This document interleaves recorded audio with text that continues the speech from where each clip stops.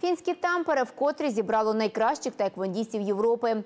Не загубилися серед них і українці. Подробиці в репортажі Вадима Хащука.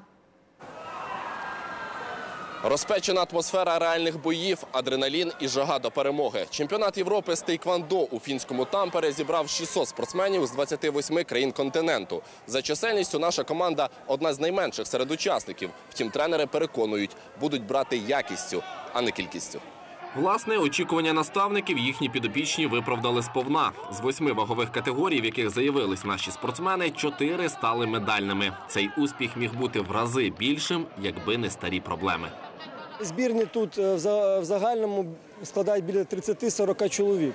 Польська збірна 60 чоловік, наша всього-навсього 8. Це тільки зв'язано з фінансовими труднощами. Ми провели прекрасний чемпіонат України, відбірковий на цей чемпіонат. Ну, на жаль, перші номера не мають фінансової змоги прийняти участь у подібних змаганнях. Олег і Катерина Соловей чемпіонська сім'я тренерів з Івано-Франківська. Ще два роки тому Катерина в п'яти поспіль стала кращою тайквондисткою планети, і все під керівництвом свого чоловіка. Тепер чемпіонський сценарій легендарної сім'ї взявся писати їхній 16-річний син. Одностайно перемігши у чотирьох сутичках, Віталій Соловей став чемпіоном Європи серед юніорів. Просто нема виходу. Я просто знаю, що я маю бути чемпіоном, бо якщо не буду чемпіоном, це для моїх батьків погано. Їх імідж, те, що вони всі роки наполегливо досягали. Ну я маю просто бути чемпіоном. Якщо я не буду чемпіоном, це буде дуже погано. Друге золото юніорської команди завоював ще один представник Івано-Франківської школи Тайквондо, 17-річний Данило Демчишин. Не дуже багато, в принципі, готувалися.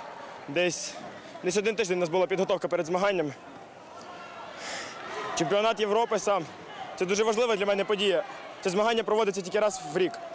І того ми катаємося на різні змагання на Україну, області, там всякі, за кордон, деколи їздимо на кубки, щоб набратись досвіду і щоб виграти на цьому змаганні. І от я виграв, обкатався.